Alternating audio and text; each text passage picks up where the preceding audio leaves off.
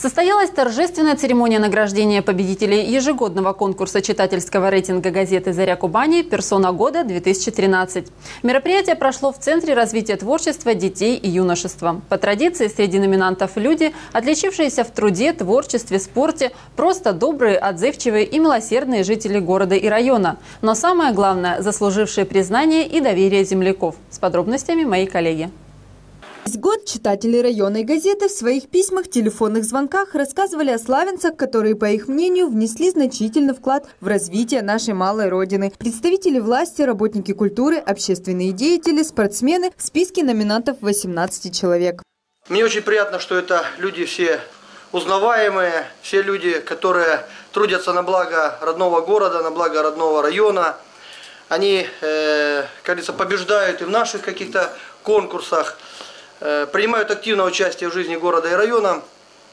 Поэтому мне очень приятно, что сегодня будет у нас такая возможность пожать каждому из вас руки.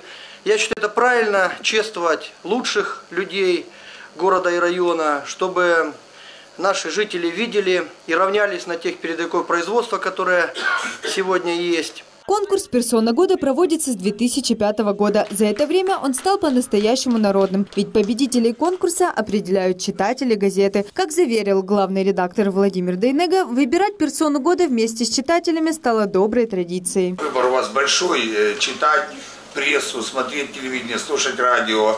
Но вот с такой богатой историей, э, через два года, 85 лет – у нас одно издание, и мы очень гордимся, журналисты Заре Кубани, что мы работаем именно в этой газете.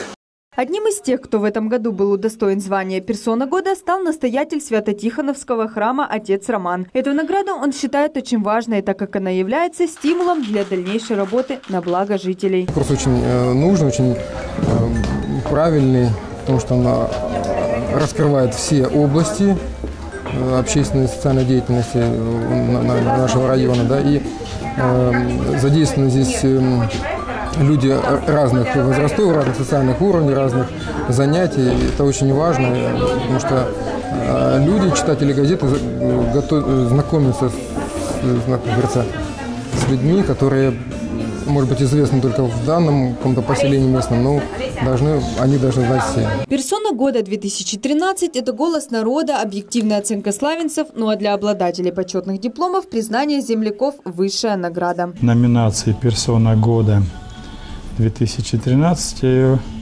расцениваю как оценку того, что мы сделали совместными усилиями с нашими избирателями, с депутатами, администрацией района. Да, это э, оценка нашего совместного труда, оценка нашего взаимодействия. Также в этот день подвели итоги творческого конкурса имени Николая Заболотного, объявленного в газете «Зари Кубани». Символично, что награду имени заслуженного журналиста и заслуженного работника культуры Кубани получил нынешний ее корреспондент Андрей Селенко. Тина Копачевская, Михаил Варгулев. Программа «События».